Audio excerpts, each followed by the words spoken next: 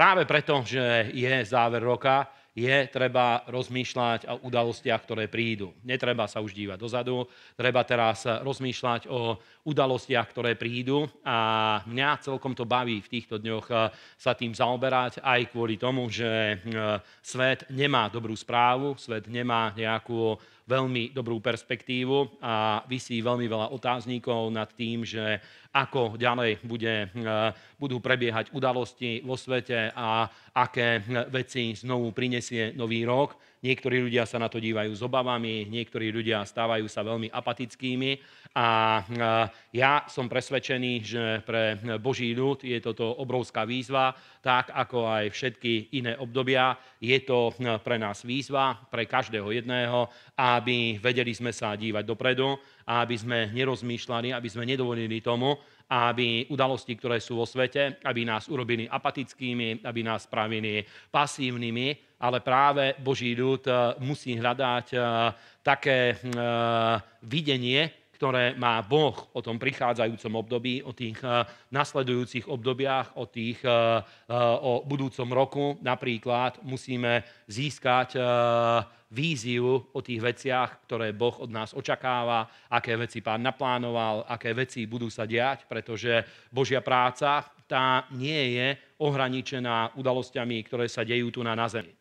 Biblii vidíme to, že tých ľudí Boh vedel použiť, ktorí vedení získať víziu aj uprostred udalostí, ktoré sa diali okolo nich. A práve tí ľudia, ktorých my považujeme za naše vzory, ktorých e, Božie slovo veľmi vyzdvihuje, rôznych prorokov, kráľov a ľudí, ktorých Boh použil, práve tých ľudí, od tých, od tých ľudí my sa učíme, ktorých príbehy sú zapísané v Božom slove. A oni mali vždycky jednu charakteristiku, že preto ich príbehy sa dostali do Božieho slova a vedia vzbudovať našu vieru, z jedného veľmi jednoduchého dôvodu, pretože uprostred hociakých eh, temných období sa nachádzali, vždycky získali víziu od Boha, akým smerom pokračovať ďalej. A práve títo ľudia stali sa dôležití, stali sa kľúčovými z pohľadu Božej práce a z pohľadu Božieho diela. A eh, Určite sú udalosti, ktoré sa nás dotýkajú, pretože sme ľudia, ktorí žijeme v tomto svete, ktoré sa dotýkajú nášho srdca a vedia nás tlačiť smerom dole. To je neočkriepiteľný fakt. Na druhú stranu máme Božie slovo a hľadáme videnie viery. A viera je vždy spojená s tým, že e, má dobrú správu. Viera nevie fungovať a život viery nevie fungovať vtedy, keď ľudia strácajú dobrú správu. Práve preto aj počas týchto dní ja cítim, že moja úloha ako e, Božieho služobníka, ako pastora, ako človeka, ktorý káže Božie slovo, je aj uprostred týchto dní a situácie, ktorá prebieha vo svete, aby priniesol som dobrú správu a e, osobne vnímam to, že e, vidím, že v cirkvi sú také dva prúdy. Sú ľudia, ktorí celkom silne sa dostávajú pod vplyv udalostí, ktoré sú vo svete.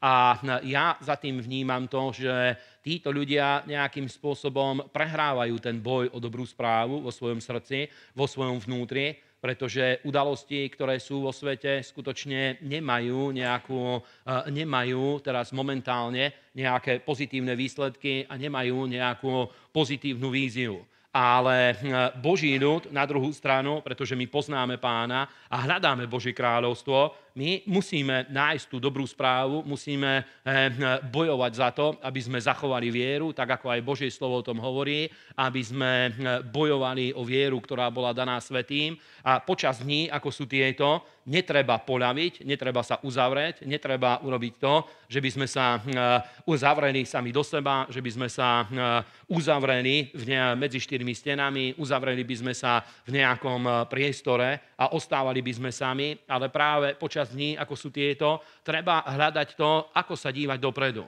A písmo nám hovorí o rôznych situáciách, napríklad, ja neviem, keď e, obnovovali chrám za dní e, Ezdráša a Nehemiáša, Božie slovo hovorí, že boli ľudia, ktorí videli ten prvý chrám a oni nariekali, lebo hovorili, že to není nič s tou slávou a s tým, ako vyzeral chrám predtým. A práve v, tej, v tých dňoch proroci prichádzali a hovorili, že nerozmýšľajte o tom, ako aj Michal to hovoril, nedívajte sa späť, nerozmýšľajte o tom, čo bolo, ale dívajte sa dopredu a hovorí, hovorili im tú správu, že sláva posledného domu bude väčšia ešte ako bola sláva toho prv, ešte väčšia ako bola sláva prvého domu. Teda aj uprostred tých tlakov, v ktorých ľudia žili, videní rozbitú krajinu, ktorá 70 rokov nič neprebiehalo, neprebiehala ekonomika, 70 rokov mala lockdown krajina a keď začali znovu budovať Boží dom, začali znovu budovať Božiu prácu, znovu vystavený chrám v Jeruzaleme, tak mnohí z toho boli takí sklamaní a dívali sa, že hovorili, že už z toho nič není, už to bude proste iba také zúfalstvo. A vtedy proroci prišli a oznamovali to, aby dívali sa dopredu a ich úloha bola, aby priniesli dobrú správu. A ja som presvedčený, že Boží ľud v týchto dňoch musí byť ten, ktorý má dobrú správu. Kresťania, či už pastori, Boží služobníci, ako cirkev musíme udržať dobrú správu, aj keď možná, že to stojí väčší boj, ale je treba bojovať za to, aby sa k nám dostala dobrá správa. Musíme pracovať aj sami so sebou, so svojimi myšlienkami, aby na nás nemal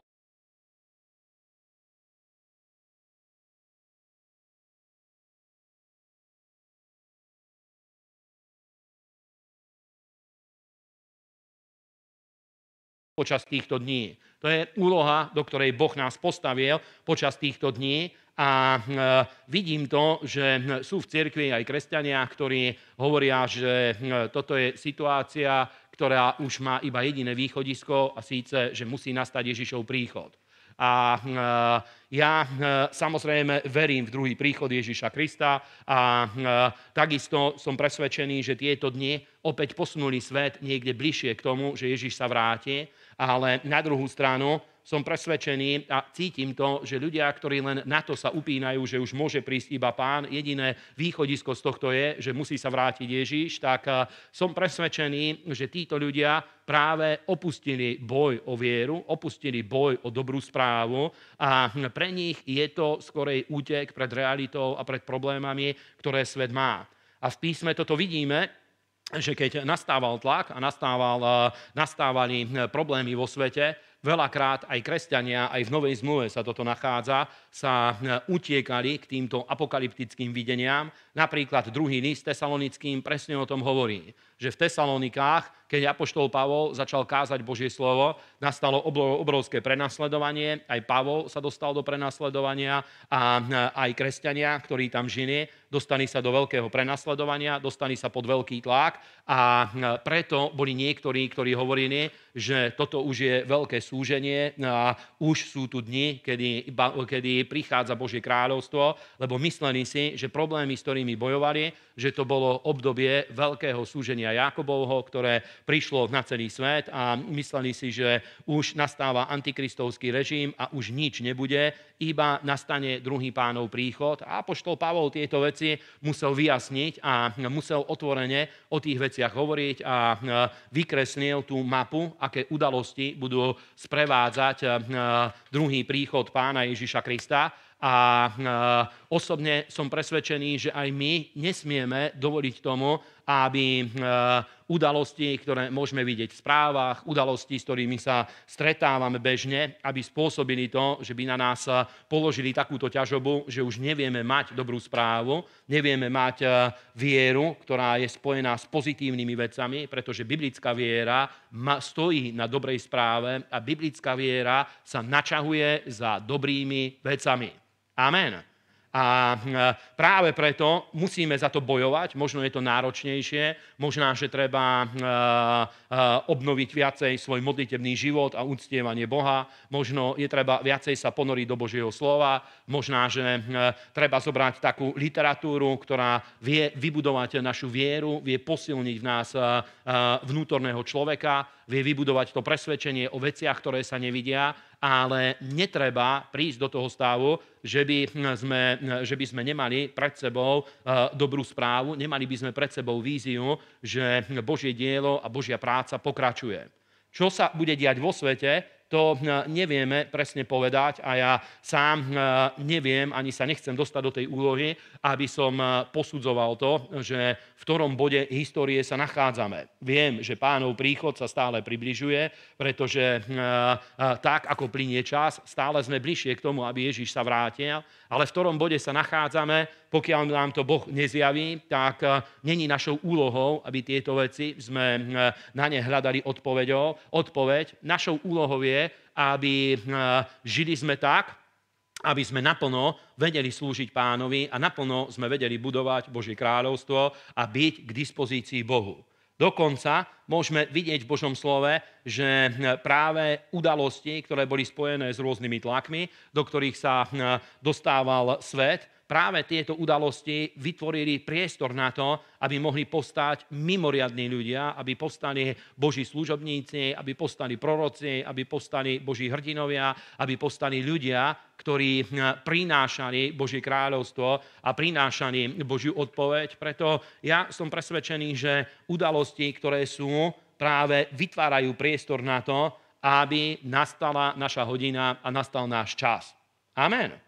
Pretože vidíte, Božie slovo, keď čítame, vidíme napríklad, keď by Izrael sa nedostal do, eh, do tlakov, do ktorých sa dostal v Egypte, keď by sa nedostal do tej situácie, tak určite Mojžiš by existoval, ale nevieme, či by sme o ňom čítali v písme, pretože nie len život Mojžiša bol dôležitý, ale bolo dôležité aj v tom období, v ktorom sa nachádzal, aký bol jeho život. Nie len Mojžiš sám bol dôležitý, ale to obdobie, v ktorom sa nachádzal, tam práve ukázalo sa to, že e, aký, prečo, bola, prečo sa stal takým významným človekom, pretože v tom období, v ktorom sa nachádzal e, Izrael, keď bol v Egypte, vytvoril priestor na to, aby Mojžiš mohol povstať a mohol sa stať takým človekom, o akom čítame v písme. A takto rád radom, keď čítaš Bibliu, keď čítame písmo, vidíme, že tí ľudia, ktorí sa stali významnými v Božom slove, práve e, e, nestali sa významnými v nejakých dobrých obdobiach, ale stali sa významnými práve v obdobiach, ktoré boli úplne protichodné a v ktorých bolo treba bojovať so zlou správou, bolo ju treba vytlačiť a za každú cenu získať dobrú správu, aby dostali sa ďalej a aby videli, to nie tie veci, ktoré sa dejú okolo nich, ale aby mali videnie o období, ktoré prichádza. Napríklad vidíte, keď niekto nemal boje vo svojom živote, nežil v období, kedy boli tlaky, pozrite, aký to malo produkt, napríklad Šalamún žil v období, kedy Izrael mal obrovský pokoj, mal obrovskú mieru prosperity a e, postavil chrám, ale keď postavil chrám, už nedíval sa ďalej, pretože nemal motiváciu, aby bojoval za to, aby zachoval vieru, aby zachoval dobrú správu. Práve preto stal sa s neho hedonista a e, podľahol rôznym pokušeniam, ktoré boli prítomné v jeho živote a podľa mňa málo chýbalo a bol by stratil aj spasenie a bol by naveky odrezaný z Božej prítomnosti. Ale pozrite napríklad Dávid. V období, kedy, eh, eh, kedy Izrael nemal dobrú správu, on začal bojovať za to, aby tú dobrú správu získal a to sa stalo takým motorom pre neho, že ho to vyzdvihlo nad, eh, nad celý Izrael, ho to vyzdvihlo a Boh ho pozdvihol do úlohy kráľa, do služby kráľa a, a práve tom období, kedy nebola dobrá správa, on získal dobrú správu, zachoval ju a preto ho Boh pozdvihol a ukázalo sa to, že tá dobrá správa, ktorú on získal, že priniesla vyslobodenie pre Izrael. Práve preto v týchto dňoch eh, my nemôžeme ostať pasívnymi ľuďmi a viete, že aby niekto dostal sa z pasivity, prvá vec, ktorú potrebuje, ktorú eh, potrebujeme každý z nás je, že musíme mať videnie o tom, že je východisko z veci a je pokračovanie života, je pokračovanie sveta. A je ťažko povedať, že tie udalosti, ktoré prebiehajú, čo všetko vedia spôsobiť, ale dá sa vidieť, že je taká časť sveta, ktorú to robí veľmi apatickými. A to sú ľudia, ktorí, keď by v týchto dňoch prišiel niekto a povedal, že má riešenie pre celý svet, tak veľmi ľahko by sa stal antikristom počas týchto dní. Povedal by, mám riešenie, vyrieším pandémiu, vyrieším ekonomické problémy, nedostatok čipov, drahé kúrenie, drahé energie, a všetky možné veci, problémy s dopravou vyrieším, len mi dajte všetkú moc do rúk. Určite veľká skupina ľudí hneď by toto prijala a Antikrist hneď by mohol prísť na trón a hneď by sa mohol stať Antikristom. Ale e, vďaka Bohu, my nie sme ešte v tomto období, ale vidíte, že situácia sa posúva takým spôsobom, ale nie sme podľa mňa ešte v tomto období a zvlášť ako kresťania, aj keď e, môže to byť záležitosť niekoľkých rokov, niekoľkých proste nie dlhého obdobia, kým tieto udalosti v plnej miere sa prejavia. My ako Boží ľud musíme mať videnie o Božom ľude, o Božej práci a o úlohách, ktoré nám Boh dal. Pretože viete, že tí ľudia, ktorí strácajú nádej, tí ľudia, ktorí nemajú videnie a strácajú dobrú správu, tí ľudia sa stávajú úplne ľahko poraziteľnými. A e, keď ste čítali knihy napríklad o holokauste, tak e, viete, že tí ľudia zomierali aj v koncentračných táboroch. Tí, tých ľudí napríklad zastihli choroby a rôzne ďalšie veci, zomreli na týfus, alebo stalo sa, že počas e, rôznych bujarých osláv, ktoré mali tí vojaci SS, niekoho len tak bezdôvodne zastrelili a stali sa obeťami týchto vecí. Tí ľudia, ktorí stratili chuť žiť. Ale tí, ktorí prežili, hovorili, že e, mnohí sa aj cítili vinní, keď prežili holokaust. A keď si kládli otázku, že prečo prežili a, a iní ľudia, ktorí mohli byť aj lepšími ľuďmi, ako oni neprežili, väčšina z nich napísala jednu vec, že nikdy nestratili chuť žiť a vždycky čakali, že príde ten deň, kedy sa to skončí. Mali túto víziu, vďaka tomu prežili to obdobie, v ktorom sa nachádzali a keď prišlo to obdobie, keď prišlo oslobodenie, mnohí si pripadali ako vo sne. Vôbec proste aj eh, bolo to pre nich obrovský, eh, obrovský také, nepoviem, že neuveriteľné, pretože oni tomu verili, ale keď sa to udialo, aj tak to úplne ťažko spracovávali, pretože naraz celý ten tlak, v ktorom boli naučení žiť, pominul a nastala úplne iná realita. A podľa mňa v týchto dňoch Boží ľud je na tom veľmi podobne, kresťania sú na tom veľmi podobne, pretože my musíme, musíme udržať chuť žiť, ty musíš mať chuť žiť a musíme mať chuť niečo robiť pre Boha a pre Božie kráľovstvo. To je jediná cesta dopredu. Amen. Povedz svojmu susedovi, nestrať chuť žiť. Amen. A ja preto začal som hovoriť o slávnej cirkvi, a pretože vidím, že sú skutočne také rozpoltené názory, sú ľudia, ktorí napríklad myslia si, že skutočné kresťanstvo dneska prebieha iba v bytoch, prebieha v domácnosti a s tým, že treba sa zavrieť doma. A ja vám poviem, že podľa, podľa môjho videnia, aké ja mám videnie o slávnej cirkvi, tak je to nezlúčiteľné s týmto obrazom, pretože pozrite, ako sa správajú ľudia, keď sa zavrú doma. Nosia najhoršie oblečenie, ktoré majú. To, ktoré im je ľúto vyhodiť do smetiaka, ale už nikde inde si ho nechcú obliecť.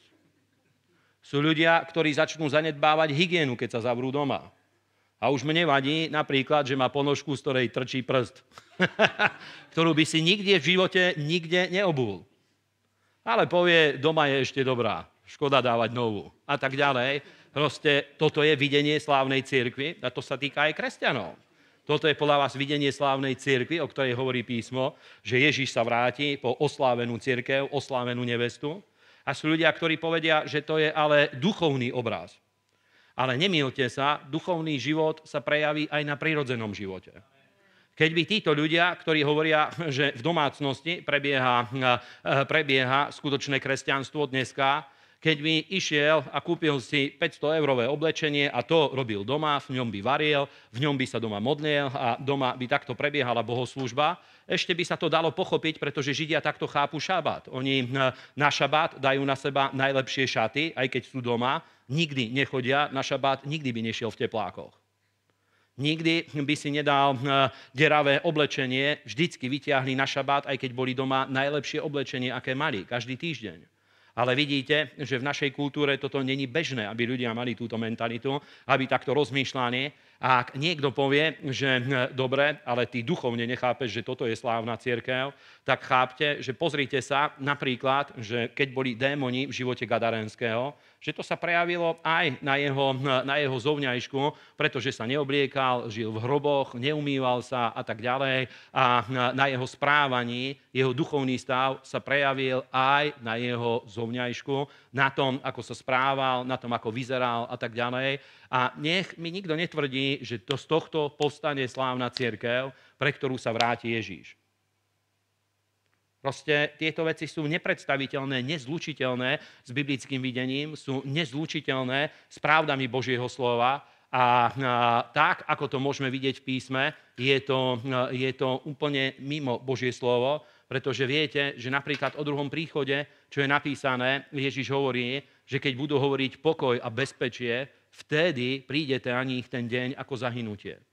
Teda Ježiš sa nevráti v dňoch, kedy každý povie, že konečne sme si vydýchli, pretože už sa to tu nedalo vydržať, ale práve v období nastane druhý pánov príchod, v takom období, keď eh, svet sa dostane z týchto tlakov a bude to vyzerať, že prekonal ďalšiu skúšku v období, kedy eh, bude to vyzerať tak, že už žiadne problémy neexistujú okolo ľudí a okolo sveta. Vtedy eh, práve nastane pánov príchod a Božie slovo hovorí, že príde to tak z nenazdajky ako zlodej v noci, alebo ako bolesť na tehotnú ženu. Takým nečakaným spôsobom sa to udeje, ale e, nemôžeme dovoliť tomu, aby udalosti, ktoré prebiehajú teraz vo svete, aby spôsobili to, že na kresťanov, že sa dostane lockdown do našej mysle a dostane sa na naše chápanie Božieho diela a na naše chápanie Božej práce, ale je treba mať tú víziu, treba mať to videnie o prichádzajúcich veciach a videnie musí v sebe obsahovať dobrú správu. Musí v sebe obsahovať to, že e, musí prinášať so sebou nejaké riešenie.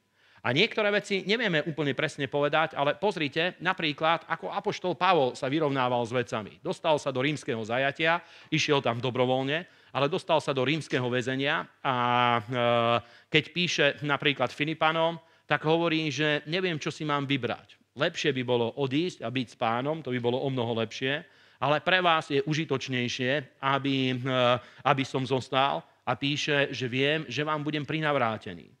Teda e, a ani sa už nedostal, Pavol sa už nedostal z tohto rímskeho väzenia, nedostal sa z tohto rímskeho zajatia. Boh rozhodol, že je čas, aby odišiel, ale vidíte, že zajatie sa nedostalo do Pavlovej hlavy, do jeho mentality a aj keď bol zajatí, plánoval rozvoj a plánoval to, že ide ďalej.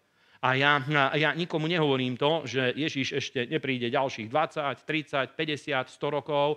Neviem, kedy príde, je to pravda, ale vidíme v Božom slove to, že my nemôžeme prijať túto mentalitu, ktorá s tým je spojená. Napríklad Boží núd nemôže prijať mentalitu lockdownu a aj keď prebieha okolo nás, nemôžeme prijať mentalitu tej pasivity a nič nerobenia, nemôžeme prijať mentalitu toho, že už není žiadna budúcnosť, pretože toto práve spôsobuje, spôsobuje úpadok vo viere. Toto spôsobuje to, keď ľudia už nemajú žiadne videnie o udalostiach, ktoré prídu, strácajú motiváciu hľadať Boha, strácajú hm, silu modlitebného života, modlitebný život stráca svoju dynamiku, stráca tá hm, schopnosť buriť sa voči zlému, voči hriechu a voči rôznym ďalším veciam. Ale hm, práve to, keď ľudia ostávajú aktívni vo viere, ostávajú silní vo viere a to sa dá len tým, že máme pred sebou víziu, máme pred sebou videnie a hľadáme, ako zachovať dobrú správu, tak eh, to nás vie vnútorne naplňať tou vnútornou integritou a vnútornou silou, ktorou vieme ísť aj proti hriechom, nedovolíme tomu, aby rôzne závislosti a rôzne eh, proste veci, ktoré robia zo zúfalstva, ako ťah na alkohol, na drogy, na rôzne závislosti, aby tieto veci napádali ľudí, aby vstupovali do ich života, alebo sexuálne závislosti, ale práve v ľuďoch sa prebudza chuť žiť a chuť bojovať za to, aby život bol dobrý a posúval sa ďalej.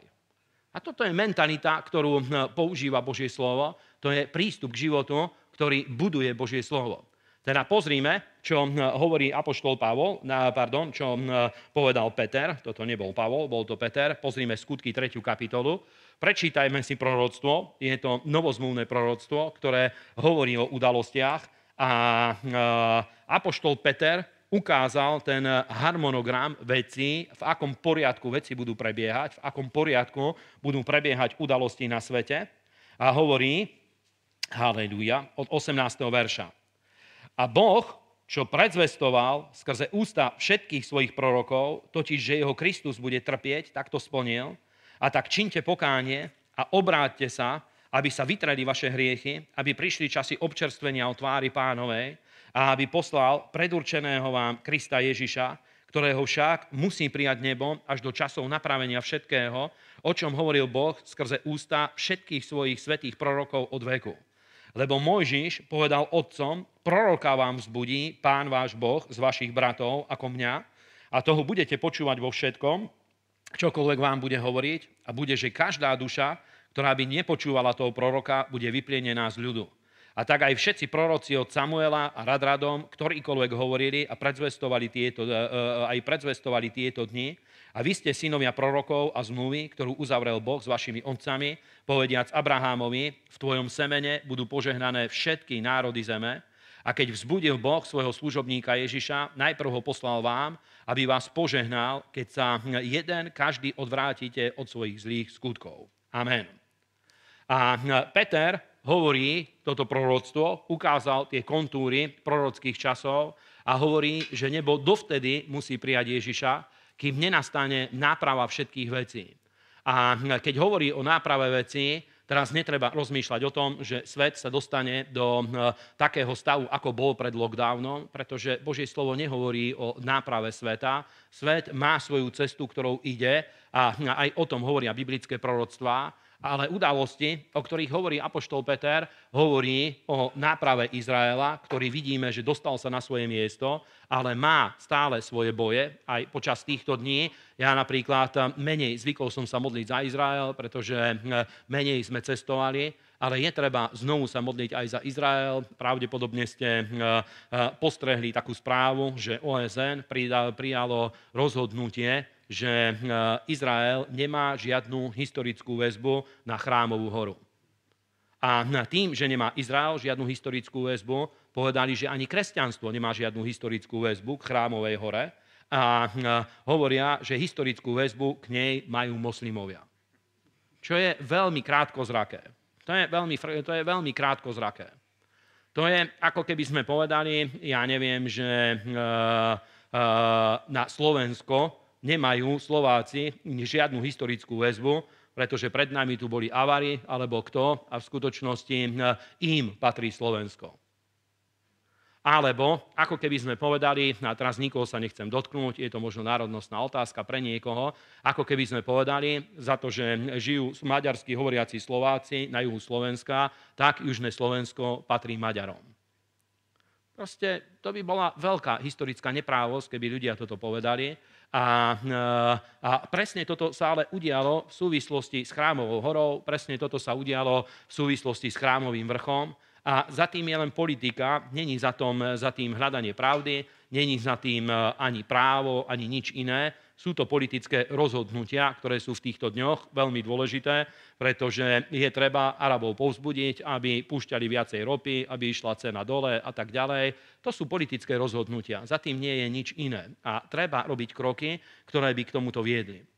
A e, teda svet ide určitým smerom, Izrael má určité problémy, ale Božie slovo hovorí, že Ježíš sa nevráti kým sa nenapravia všetky veci. Teda musí sa, musia sa udiať veci, ktoré sa týkajú Izraela, musia sa udiať a musí aj církev byť postavená na to miesto, kde, bola, kde evanienium začalo, aby evanienium kráľovstva bolo šírené po celej zemi, aby evanienium kráľovstva sa dostávalo k ľuďom, pretože Ježiš povedal, že evanienium kráľovstva bude kázané pre všetky národy a vtedy príde koniec.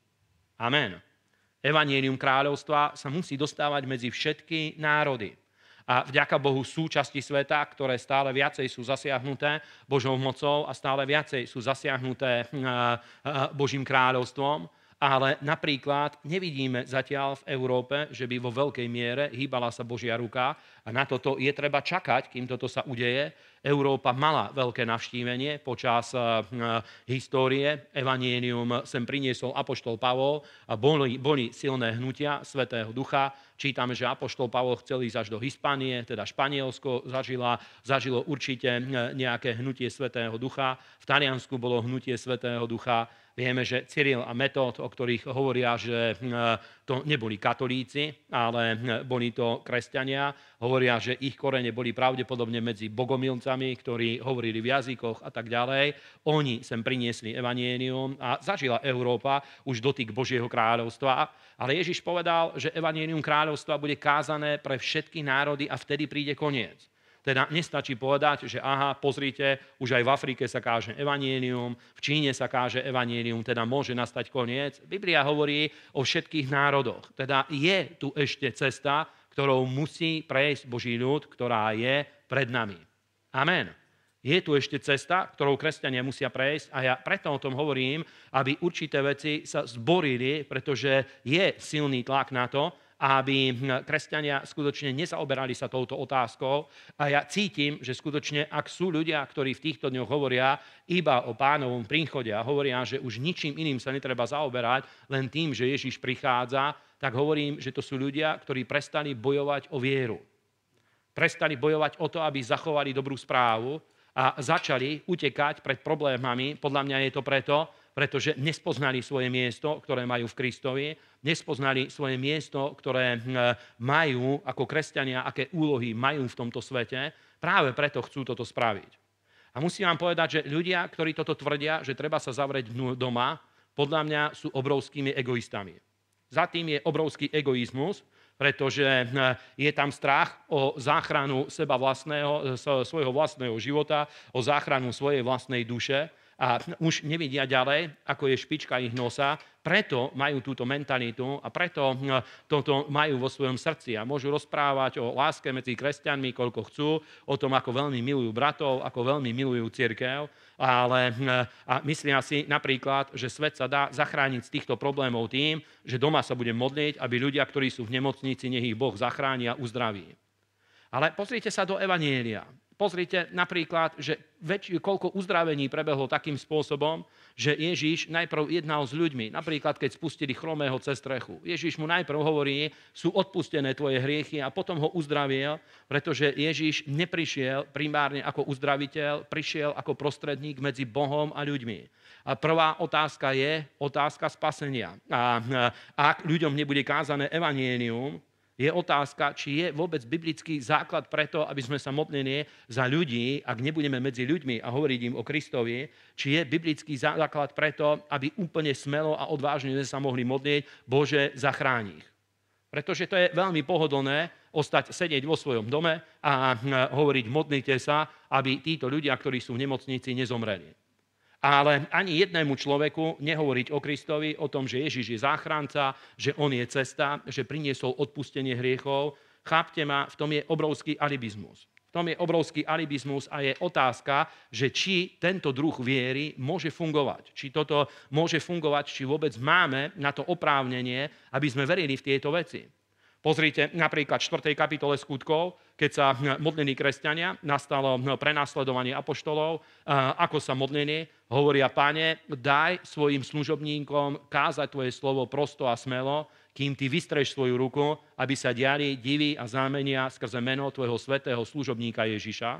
A ja vám nechcem zobrať nádej, nechcem hovoriť, aby ste sa nemodlili za ľudí, ktorí ochoreli, ale je otázka, či je možné bez kázania Evanielia chcieť, aby Božia ruka sa hýbala, pretože uzdravenie je výsledkom Evanielia. Kázaného Evanielia. Uzdravenie je výsledkom kázaného Evanielia. Amen. A niekto povie, že ty si cynický človek, nemáš rád tých ľudí, ktorí sú v nemocnici. To není pravda. Ja len hovorím, že kresťania musia pochopiť, aká je naša úloha počas týchto dní a aby s týmito vecami my sme vedeli bojovať, aby sme sa vedeli postaviť na to miesto, kde treba, prvá vec je, že my musíme mať videnie o tom, že musíme mať videnie, ktoré je postavené na dobrej správe. Musíme udržať dobrú správu. Nesmieme byť ako desiatí zvedovia, ktorí prišli a doniesli zlú správu. Musíme byť ako, Joze, ako Jozue a Kálev, ktorí udržali dobrú správu a hovorili, my získame zem. Všetky o tom presviečali, že získajú zem. Nesmieme dovoliť, aby zlá správa dostala sa do nášho srdca. A je pravda, že keď niekto chce vidieť zlú správu, ja vám poviem, že diabol toto veľmi zneužíva a neviem, prečo proste niektorí ľudia toto príjmu, pretože keď chceš vidieť zlú správu, pozri, vieš si prečítať Jeremiáša a vieš tam vidieť samú zlú správu. Vieš tam vidieť, že toto je lockdown a COVID ako vyšitý. Ale pritom Jeremiáš nehovoril o týchto veciach. On hovorí, že áno, príde súženie, je to následok hriechov, ale príde aj obnovenie. Neboli takí proroci, ktorí by hovorili iba zlú správu a nevniesli by do toho dobrú. Oni vysvetľovali, že určité veci, ktoré sa dejú, sú príčinou nejakých vecí, ktoré sa udiali, ale vždycky spolu s tým priniesli dobrú správu, pretože bez dobrej správy by neprebehla mobilizácia v Božom ľude, nebolo by žiadne očakávanie. A kde není očakávanie, veci, ktoré nevieme očakávať a nevieme ich vidieť skrze vieru, za tie, tie veci nevieme získať, pretože za tie veci nevieme veriť. Keď není videnie viery, není dobrá správa, není schopnosť získať to, není nič, za čím by sme sa načahovali a Boh takýmto spôsobom nejedná, Božia moc sa nehýbe, neprináša odpovede. Preto, priatelia, počas týchto dní je veľmi dôležité, aby v cirkvi bolo videnie skutočne o slávnej cirkvi, o slávnom vyvrcholení Božieho diela a Božej práce. A slávne vyvrcholenie to není iba vzkriesenie a vytrhnutie, to je jedna časť, ktorá bude nasledovať potom. Ale viete, aj nevesta, keď ide k oltáru, najprv sa pripravuje najprv hm, ide. A veľakrát je to tak, že nevesty, keď sa idú vydávať, eh, všetko preto spravia, už keď vidia niekoľko mesiacov pred svadbou, že je, ide, objedná si fitness, hm, fitness tréning, aby hm, dostala sa, dostali sa úplne do najlepšej formy, aká bola, pretože cíti, že to je vrcholný deň života a tak ďalej. A ide všetko preto spraví a čím je to bližšie, ide ku kaderníkovi a tak ďalej. Keď nemá zuby, ide zubárovi, aby jej spravil protézu a všetko, aby vyzeralo najlepšie, ako sa dá. Amen. Vidíš, že kupuje stále nové a nové šaty a tak ďalej, pretože cíti, že udalosť je slávna a je treba sa na ňu pripraviť. Nejde tým smerom, že čím bližšie sa to blíži, tým proste len sa posvecuje, lebo niektorí ľudia takto chápu presne, že ten útek je proste spojený s tým, že treba sa skryť a treba sa, a, treba sa utiahnuť a treba len duchovne byť slávny. Ale není duchovná sláva bez toho, aby aj v prirodzenom živote toto bolo vidieť. Amen. Není duchovná sláva bez týchto vecí. To ide ruku v ruke a je to jedno vedľa druhého. Amen. Je to jedno vedľa druhého, preto, priatelia, aj v závere roka ja cítim, že je treba, aby naša pozornosť obrátila sa k tomu, že hm, Božia práca a Božie dielo musí pokračovať a musí ísť do lepších vecí.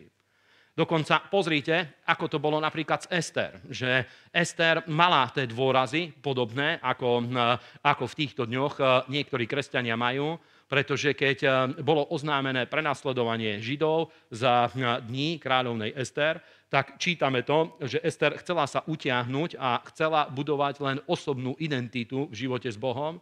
A Mardocheus jej hovorí čo? Mardocheus bol prorok, bol múdry muž, on ju pozdvihol, aby sa dostala tam, kde bol a hovorí jej, že nemyslí si, že ak príde tá rána, že len ty sama zachrániš svoju dušu a všetci ostatní pôjdu do zahynutia, ale ak teraz sa nepostavíš na to miesto, na ktorom máš stáť, pretože práve pre tento čas a pre túto hodinu Boh ťa postavil na to miesto, kde si, práve ak ty nenaplníš svoju úlohu, tak zahynieš spolu s ostatnými. A práve to je mentalita, ktorú kresťania musia mať. Vďaka Bohu máme osobné spoločenstvo s Bohom, ale je treba rozumieť tomu, že hm, práve toto sú dni, toto je obdobie, kedy podľa mňa kresťania musia veľmi vyrásť vo viere a je treba veľmi stať o to, aby bola zachovaná dobrá správa a aby bol silný užitok viery.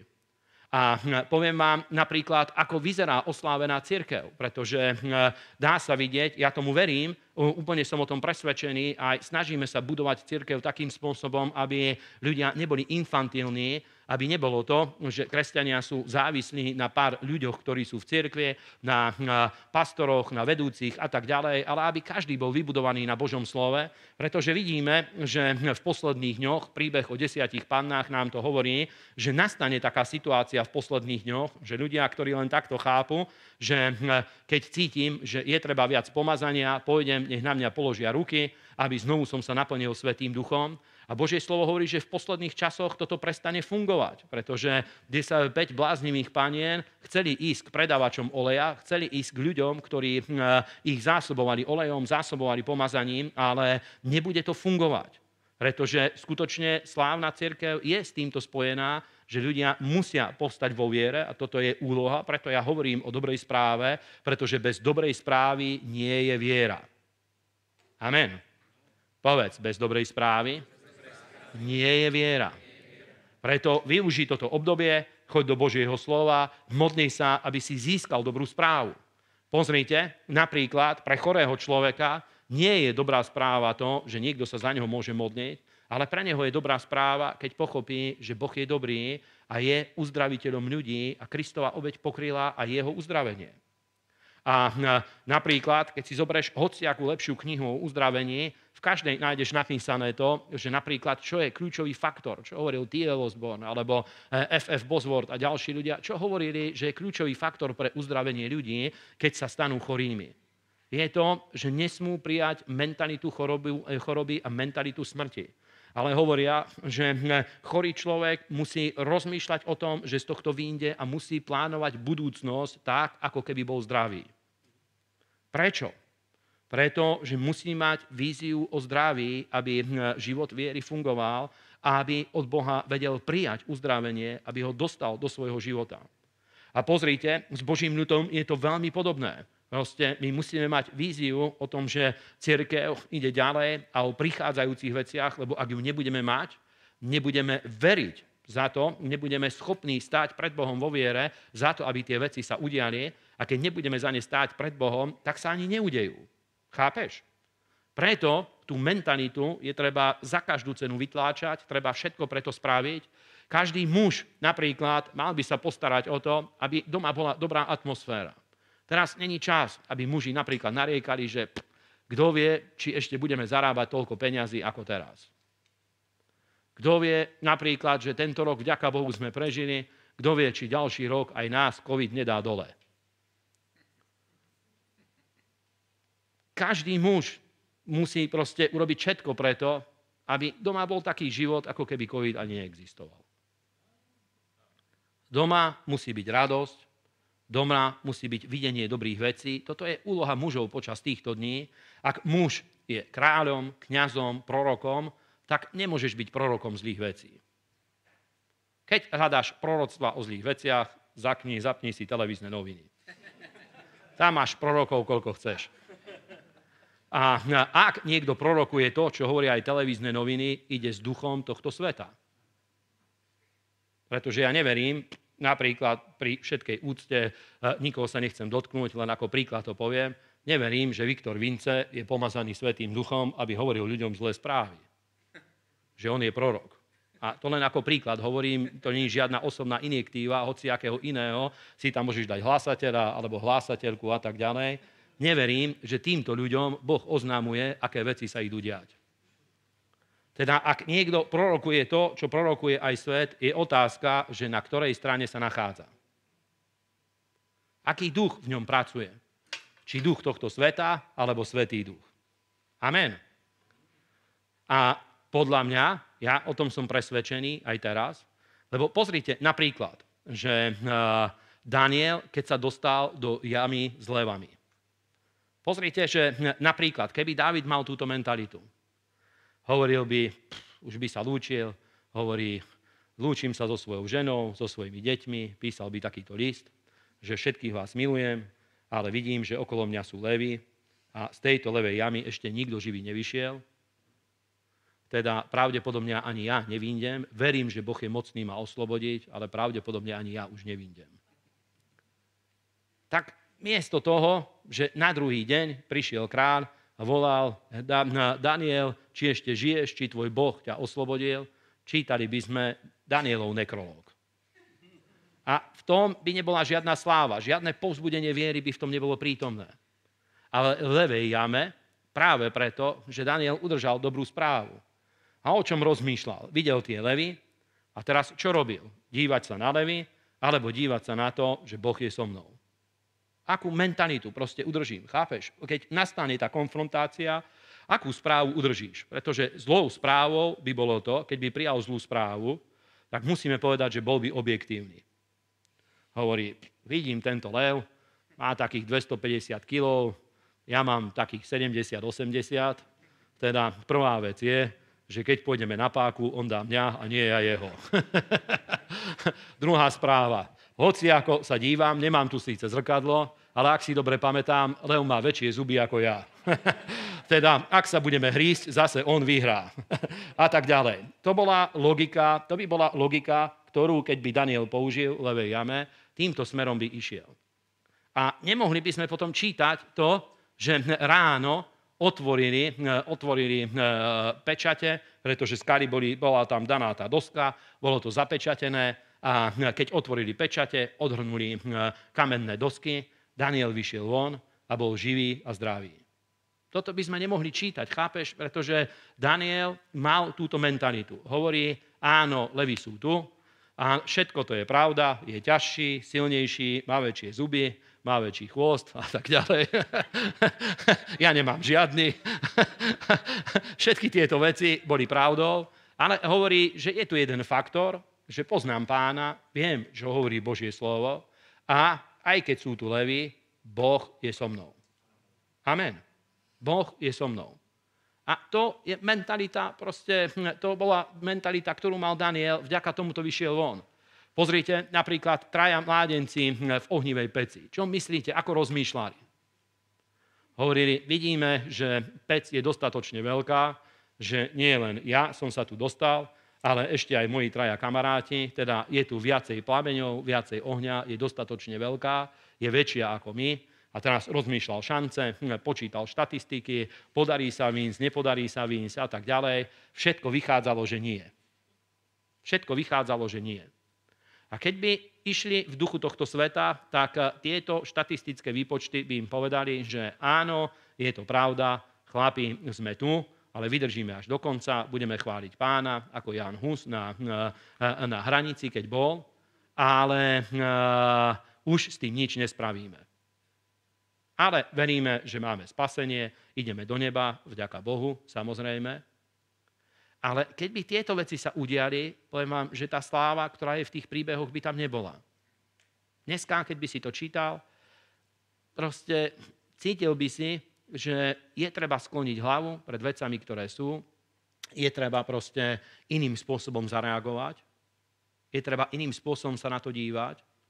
A je to problematické. Ja napríklad chápem to, chápem určité veci, rozumiem tomu, že Nepoviem, že je dobré, že my sme relatívne malá církev, pretože eh, keď sú zbory, ktoré majú 10 tisíce ľudí, toto vytvára obrovský problém, pretože pri takých masách ľudí sa stretávať, to proste není jednoduché počas tejto doby.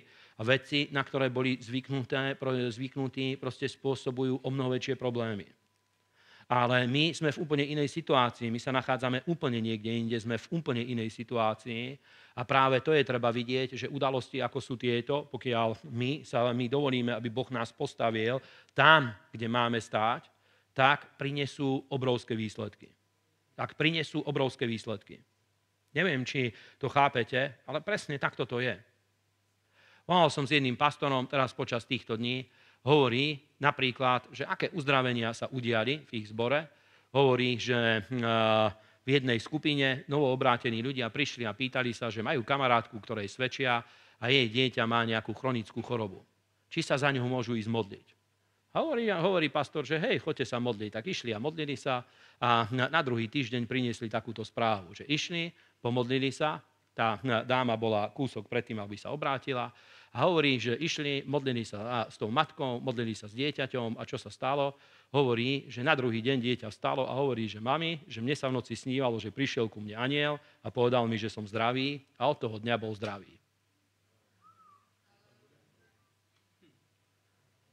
Teda to, to sú všetko relatívne veci. Svet má lockdown, Boh nemá lockdown.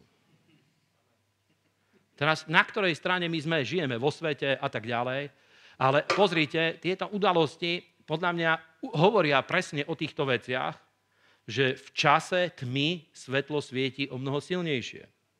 Proste nespochybňujeme to, že problémy existujú vo svete, ale v čase tmy svetlo svieti o mnoho silnejšie keď je najväčšia tma, aj malá sviečka proste hm, vytvorí kontaktný bod, aspoň trochu, o mnoho viacej proste svieti. Ale keď svieti slnko napríklad a je 12 hodín alebo 3 hodiny po obede, zasvietiš sviečku, tak vidíš iba malý plamienok, nevidíš nič. Ale keď je obrovská tma a zasvietiš sviečku, tak vidíš, že, ja neviem, 5 metrov dookola osvieti tá sviečka. A je to iba jeden malý plameň. Teda presne tomuto ja verím, že keď vidíme, že narastá temnota vo svete, tak eh, práve to mne hovorí o tom, že naša hodina práve teraz prichádza.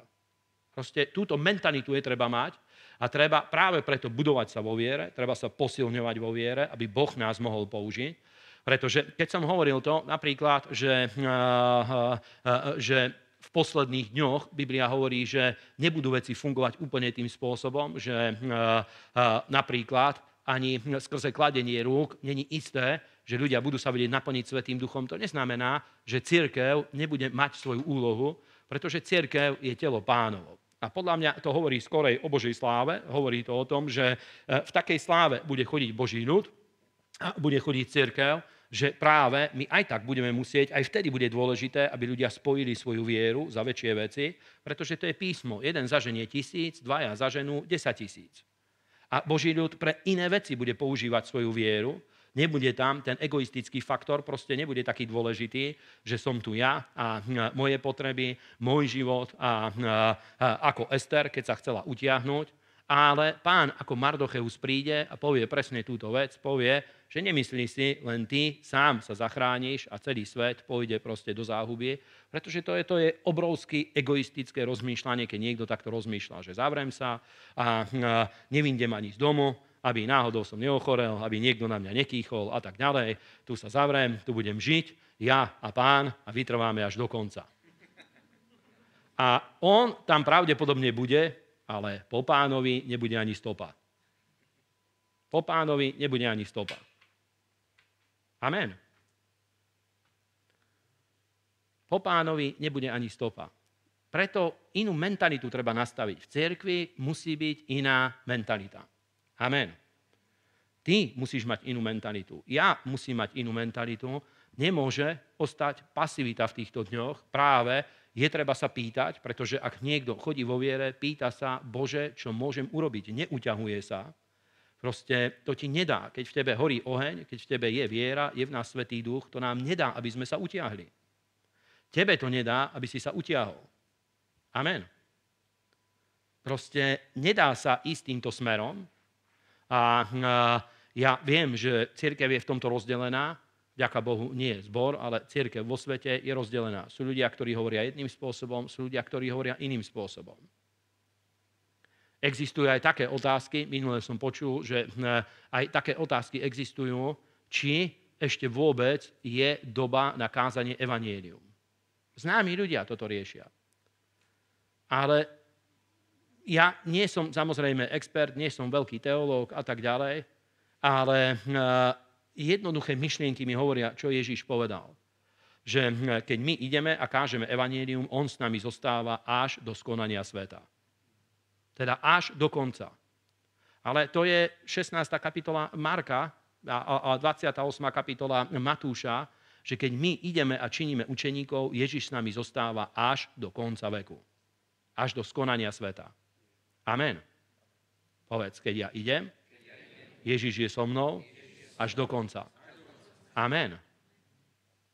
Ale ľudia, ktorí nejdú, ktorí ostanú pasívni, je otázka, či Ježiš je s nimi. To je veľká otázka. To je veľká otázka. To je veľká otázka. Proste tieto veci je treba nejako vedieť spracovať. Treba ich rozlúsknuť. Alebo napríklad, však čítame podobenstva o pánovom príchode, kde je napísané, že úlohy, ktoré majster rozdal, ktoré pán domu rozdal, hovorí, blahoslavený je ten sluha, ktorého pán nájde bdieť a robiť jeho prácu.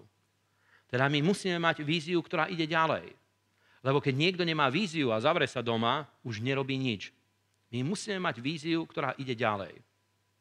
Musíme mať víziu, ktorá pokračuje. Napríklad, dokončujeme jednu budovu, ja už rozmýšľam o tom, že musíme aj tu vyriešiť niečo. Proste nerozmýšľam o tom, že na čo nám bude budova, však aj tak svet sa zatvára a tak ďalej. Pozri, ak to tak je, tak na čo kupuješ deťom darčeky? Však aj tak pán už príde. Na čo ideš vyprášať reže, rezeň, robiť šalát, veď pán už aj tak príde. Chápte, to je proste veľmi rozpoltená mysel. To je veľmi rozpoltená mysel. Potom sú iní ľudia, ktorí hovoria, už nič nemá zmysel, jedzme, píme, povolujme telu, pretože ide koniec. Niektorí ľudia zase takto rozmýšľajú, keď nemajú víziu, nemajú cieľ, nemajú disciplínu, nevie, prečo by nehrešil napríklad. Veď už svet aj tak skončí, rýchlo proste, hm, rýchlo to hm, nejako ukončíme, rýchlo nech to prejde, ešte sa pozabávajme, koľko sa dá. Aj takto niektorí ľudia rozmýšľajú. Pretože nemajú žiadnu víziu. Slovo presne toto hovorí, že keď není videnie, ľud je rozpustili. Ľud je rozpustili. Amen. Presne takto to je. Teda maj víziu, ktorá ide ďalej. Rozmýšľaj o pokračovaní veci. Ak, ak Boh sa rozhodne, že v nejakom bode toto stopne a zastaví a príde do toho, v poriadku. Ale ty budeš robiť veci, ktoré ti Boh ukázal, že sa máš nimi zaoberať. Že sa máš nimi zaoberať. A napríklad, keď ide o to, že 10 panien, 5 múdrych, 5 bláznivých. Napríklad, ako sa dá získať pomazanie? Jedine službou. Pomazanie a silu Svetého Ducha jedine službou sa dá získať. Tým rastie a rozmáha sa. My už sme naplnení Svetým Duchom, sme pokrstení Svetom, Svetom Duchu, ale aby, sme boli, aby bolo viacej Svetého Ducha na našom živote, aby boli sme viacej plní, aby bola väčšia sila, väčšie pomazanie, to sa dá získavať iba v službe. To sa nedá získať nikde inde. Preto je to obrovské klamstvo. Sú ľudia, ktorí aj na mňa zautočili kvôli tomu, že rozprávame o týchto veciach a ktorí hovoria, že prečo balamutím ľudí, že už nič nebude, už iba súd pohanov bude a oni si myslia, že touto mentalitou oni sami budú zachránení. A Mardocheová rada im hovorí, že nemyslí si, že ty sám unikneš, až ak všetci ostatní pôjdu dole vodou. Lebo treba ľudí ťahať, nech idú do Božieho kráľovstva, nech sa znovu zrodia, nech sa obrátia, ich život nech eh, je dotknutý Božou správou, nech je dotknutý evanieniom, nech eh, ich život je dotknutý, nech dostanú aspoň príležitosť sa obrátiť. Pozri, prečo sme sa my obrátili? Pretože sme dostali príležitosť sa obrátiť. Niekto nám to povedal. A sú iní ľudia, ktorí dostali príležitosť a neobrátili sa. Dobre, je to ich rozhodnutie, ale koľko takých ľudí je vo svete, ktorí aj nedostali príležitosť, aby sa obrátili. Preto sa nestali kresťanmi, preto nespoznali Ježiša, ani im nikto nepovedal, že Ježiš existuje. Minule mi niekto hovoril, že na ulici niekde kázali, neviem, či v Sladkovičovo ste vraveli, či v Komárne, alebo kde to bolo, a nejaké, alebo ty, Peťo, či si nekázal takému človeku, niekto mi to hovoril, že hm, hovorili mu Ježišovi a hovorí, že nikdy som nepočul, že niečo také je, že existuje nejaký Ježiš, vedel iba, že existuje Biblia a nikdy nepočul, že je Boh, nikdy nepočul, že je nejaký Ježiš, iba vedel, že sú nejakí kresťania a existuje Biblia a to je celé, čo vedel. Predstav si, že takíto ľudia existujú. Neviem, ako je to možné, ale existujú. Nikdy to nepočul. pravdepodobne nikdy, nikdy nedostal príležitosť, nebol v situácii možno, v ktorej musel hľadať Boha. Ale keby sa aj celý život nedostal do takej situácie, je tu ešte iný dôvod, prečo nikdy takto nerozmýšľal, lebo mu nikto nepovedal, že Ježiš prišiel, aby ho zachránil. Amen. Nikto mu to nepovedal. Teda práve kvôli týmto veciam, priatelia, musíme mať videnie, ty musíš mať víziu. Jedno miesto ešte prečítajme. Nájdime Matúšové evanienium. Aleluja. Matúšové evanienium, pozri. Toto je dobré slovo, ďaká Bohu. 15. kapitolu od 21. verša. Potom vyšiel odtiaľ Ježíš a odišiel do krajov Týru a Sidona a hľa, kananejská žena z toho kraja vyšla, kričala a hovorila, zmiluj sa nado mnou, páne, synu Dávidov, moja dcéra sa strašne trápi, posadla démonom, ale on jej on neodpovedal ani slova. A vtedy pristúpili jeho učeníci a prosili ho a hovorili, odbav ju, lebo kričí za nami. Ale on odpovedal a riekol, nie som poslaný iba k ovciam zahynulým z domu Izraelovho. A ona príduc skláňala sa mu a vravela, pane, pomôž mi. A on odpovedal a riekol, nepatrí sa vziať deťom eh, chlieb a hodiť ho šteniatám. A ona povedala, tak je, pane, lebo aj šteniatá jedia z odrobiniek, ktoré padajú zo stola ich pánov. A vtedy odpovedal Ježiš a riekol jej, o ženo, veľká je tvoja viera, nech sa ti stane ako chceš a jej dcéra bola uzdravená od tej hodiny. Amen. Toto je veľmi dobrý príbeh a Bože slovo hovorí, že toto bola žena, ktorá mala veľkú vieru. Toto Ježiš povedal. Prišla s veľkou vierou. A jej veľká viera bola práve v tom, že všetko hovorilo proti tomu, aby jej dcéra bola uzdravená. A ešte aj keď prišla za Ježišom, a Ježiš hovorí, že nie, že ju nechce uzdraviť, ale povedal, že toto není čas, kedy je možné, aby tvoja dcéra bola uzdravená. Ale ona proste musela to byť veľmi zvláštna osoba, pretože pre ňu nie, nebola odpoveď. Evidentne to bola žena.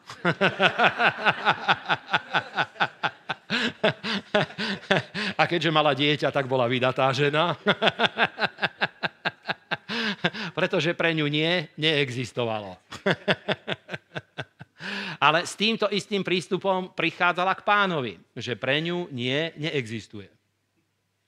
A neurobila to arogantne, nezačala sa s pánom vadiť a tak ďalej. Bola to bohabojná žena. Kláňala sa, uctievala pána a tak ďalej. A hovorí, ale hovorí, že nie, pane. Pán hovorí, že e, najprv jej neodpovedal, potom ju odbil a ona hovorí, že nie, pane. Nie, není odpoveď. Dostala to, čo chcela. Ježiš hovorí, že veľká je tvoja viera, pretože čím väčšie protivenstvo bolo, a ona aj tak obhajila samú seba a dosiahla svoj cieľ, Ježiš povedal, že mala veľkú vieru. Keby bolo malé protivenstvo, mala by malú vieru. Keď bolo veľké protivenstvo, bola veľká viera. Amen. Takže podľa mňa proste aj Evangelium sa dá čítať s tým, že má prorocké odkazy, všetky príbehy v písme, aj v tejto dobe. A to znamená, že je treba byť silnejší vo viere, aby týmto obdobím sme prešli, aby sme videli veci, ktoré nasledujú za tým, je treba byť silnejší vo viere. Treba zosilniť vo viere, treba sa tým zaoberať, ako je možné vyrásť vo viere. Druhá vec, ktorá z tohto vychádza, a to bol samotný Ježíš, čo niektorých kresťanov veľmi prekvapí, ale Božie slovo hovorí, na základe tohto príbehu vieme povedať jednu vec, že aj keď samotný Ježiš bol prítomný na zemi, to neznamená, že veci sa diali automaticky iba preto, že Ježiš tam bol prítomný. Aj tento príbeh to ukazuje, rovnako ako Bartimeov príbeh, ako rôzne iné príbehy. Proste to neznamená iba za to, že sme prijali Ježiša, že veci sa dejú automaticky.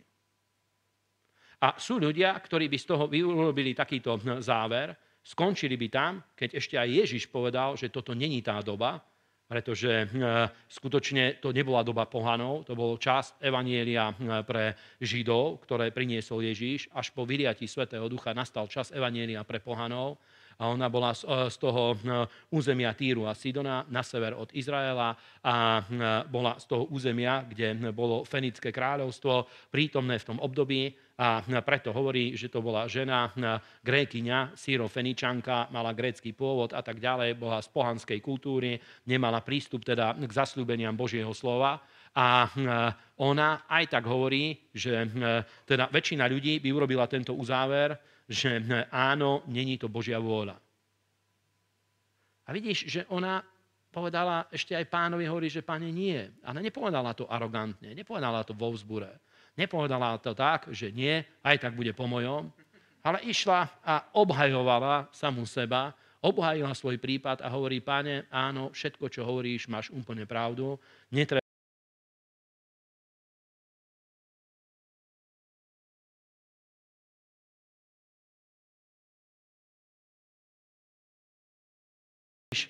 otrhneš od úst kúsok a hodíš mu. Presne toto Ježiš hovorí, že, eh, hovorí žena Ježišovi. Hovorí, že áno, presne takto je, ako hovoríš. Ale predsa aj štenia, aj keď nedostalo obed, nesedí tam pri stole, nedelný obed, prídeš domov, rodina sedí za stolom, má dobré jedlo, tak štenia nepostadia tiež za stôl, aby jedlo spolu s nimi, ale zoberú a hodia mu kúsok. A on je šťastný, vrtí chvostom a tak ďalej. A presne toto hovorí žena pánovi. Pán hovorí, že áno. S obrovskou vierou si prišla, choď v pokoji, tvoja dcera je uzdravená. Teda veci sa nedejú automaticky a keď sú protivenstva, treba vyrásť vo viere. Treba sa posilniť vo viere. To je vývod, ktorý z toho treba urobiť. Teda keď vidíme, že svet je v tejto situácii, naša odpoveď musí byť to, že ideme vyrásť vo viere. Amen. Ideme vyrásť vo viere. A aby sme vyrástli vo viere, musíme mať väčšiu víziu, pretože nedá sa mať veľkú vieru a malú víziu. Tieto dve veci nejdú spolu. Proste čím väčšia je viera, tým je väčšia vízia. Alebo aj naopak. Čím väčšia je vízia, tým ja priamo umerne k tomu vyrastie aj viera. Teda musíme mať videnie pre prichádzajúce obdobie, maj videnie pre seba, pre svoju rodinu, pre službu, majme videnie pre církev, pretože aj pre církev ešte existuje dobrá správa, Amen. Aj pre církev tu je ešte dobrá správa. Povedz, ja tomu verím, že aj Božie dielo má ešte dobrú správu. Amen. Keď by nemalo, tak už není Božie kráľovstvo. Amen. Takže, priatelia, tieto veci je treba chápať. Preto o tom hovorím, pretože opäť nastal lockdown a sú ľudia, ktorí proste spievajú tú slávičiu pieseň idú proste smutné, smutné piesne, chcú spievať, hovoria, toto není čas radosného uctievania pána, teraz treba také smutné piesne spievať. teraz není čas pre víťaznú vieru, teraz treba mať takú smutnú vieru. Smutná viera neexistuje. Smutná je len nevera. Ale viera, neexistuje smutná viera hovoria, že cítime, že už tá sláva proste není taká, pretože majú vieru iba vtedy, keď sú dobré dni. Keď sú zlé dni, vtedy nevedia sa zapreť. Nevedia proste rozmýšľať o tých prichádzajúcich veciach, nevedia získať dobrú správu. Je to ťažšie získať dobrú správu v zlých dňoch. Ale pozrite, každý chorý v Biblii, ktorý bol uzdravený, musel získať dobrú správu. Minule sme čítali o žene s krvotokom. Ona počula o Ježišovi. Odtiaľ získala dobrú správu a začala hovoriť sama k sebe, len keď sa ho dotknem, budem uzdravená. A uprostred tlakov a protivenstiev života získala dobrú správu. Pozrite, Eliáš, toho sme spomínali, žena zo Sarepty a tak ďalej. Proste príbehov máš v Biblii, každý príbeh je o niečom. Pozrite, Mojžišové narodenie. Faraón hovorí, každý chlapec musí zomrieť. Čo urobili jeho rodičia? Povedali, Všetci ostatní, hej, ale náš nie. Ak ostatní dovolia, aby ich deti zomreli, dobre, ale my nedovolíme. Náš nezomre. A to bola viera. Biblia hovorí, že toto bola viera, ktorá za týmto stála. Tá povedala, keď všetci ostatní, hej, dobre, je to ich vorba, ale náš Mojžiš nie. Amen. A presne ako budeme rozmýšľať o cirkvi, ako budeme rozmýšľať o živote, presne s týmto to je spojené, priatelia. Presne o tom to je, že akú správu máme v srdci, akú správu udržíme. A je to ťažké, keď cítiš, že svet ide jedným smerom, keď cítiš, že ideš proti prúdu, není to jednoduché. Nie je náhodou kresťania v znaku mali rybu, pretože ryba ide proti prúdu. Videli ste napríklad lososy, keď tiahnu, ako idú. Ešte aj keď je vodopád, aj ten vodopád preskočí. Neviem, ako je to možné, ale voda tečie dolu prúdom a on tam vypláva hore. Ďaká Bohu. Amen. My vieme ísť proti prúdu. Amen. S prúdom ide iba zdochnutá ryba. Keď má lockdown, hore bruchom, opaluje sa. Na nafukovačke sa opaluje a ide dolu prúdom.